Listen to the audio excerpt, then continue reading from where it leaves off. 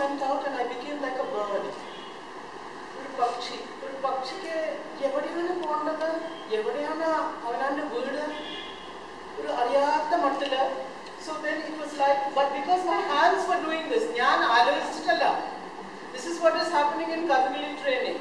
The body takes the lead, and because of what the body is doing, it influences the imagination. Usually, what do we say?